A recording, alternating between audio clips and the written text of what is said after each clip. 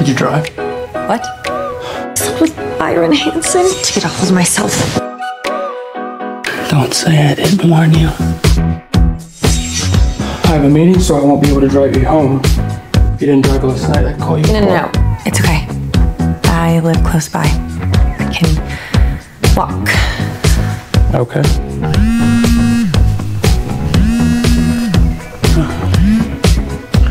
Yes. Get the numbers ready. Make sure everybody's in the room before I get there. I'll be there in 23 minutes. Goodbye, Miss Lane. Goodbye, Mr. Hanson. What is wrong with me? He's my ex fiance's uncle. I need my engagement ring back. My mom said it's a family heirloom. Is this because my family went bankrupt? It's not my fault. Your dad committed suicide and left a huge Don't mess. talk about my father.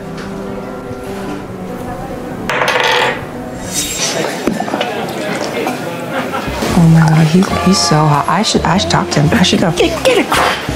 You don't stand a chance with Byron. He is the richest man in LA. I think I did it again. I made you believe. You're so mean. And rumor has it, he doesn't date. Oh, baby, it might seem like a crush, but it doesn't mean that I'm serious. Cause you lose all my senses. That is just so typically me. Oh, it's you. Hello, Mr. Hanson. I'm gonna go order a drink from the bar. You want anything, Byron? No, I'm fine. Okay. What are you doing here? Can a girl get a drink by herself? Let go. I don't want to. I'm your fiance's uncle. Ex fiance. I guess you didn't get the memo, Uncle Byron. Me and Easton, we broke up. And? And I say, So this is about revenge. so what if it is? Revenge is a dangerous game, Miss Lane. Are you afraid, Mr. Hanson? Because I'm not. I want this. Don't say I didn't warn you. It's okay, Cora. It's not like you are ever going to see him again. You're good. You are a capable, smart, powerful woman, and you do not need a man in your life.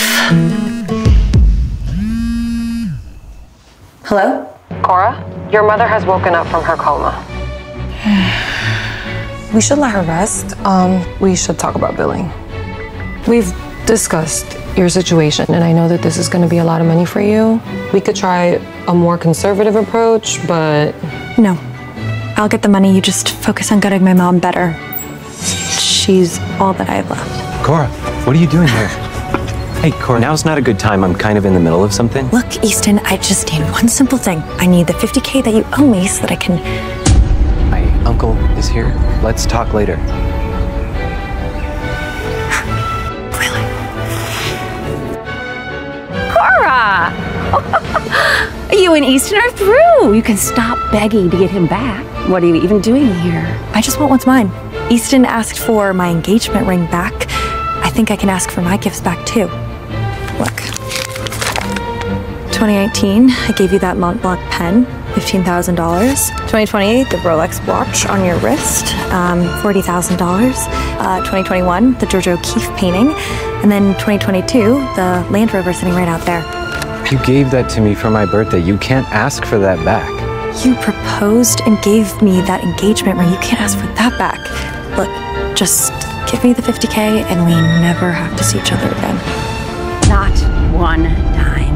I'll give you the money if you beg me for it.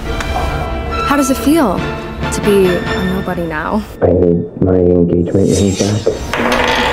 The princess has fallen from her tower.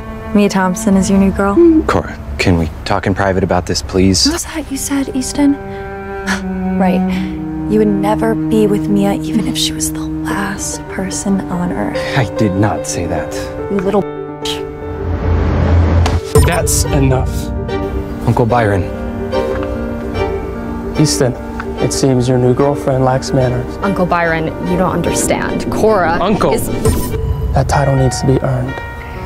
Or did I miss the wedding? Are you married to Easton?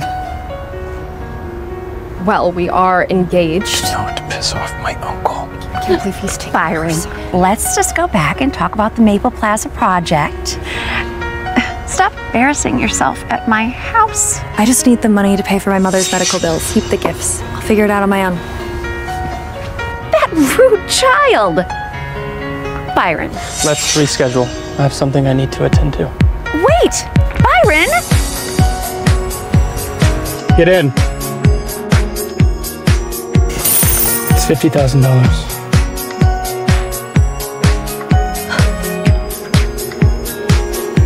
What? You're not going to take it?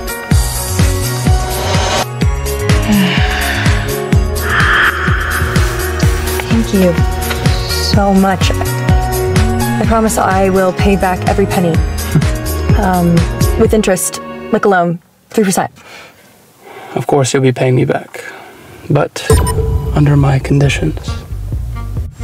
I'll, I'll have you know, Mr. Hanson, I'm not like that. Not going to sell my body for money. So, you think you're only worth fifty thousand? What's going to happen next? Found out on ReelShort.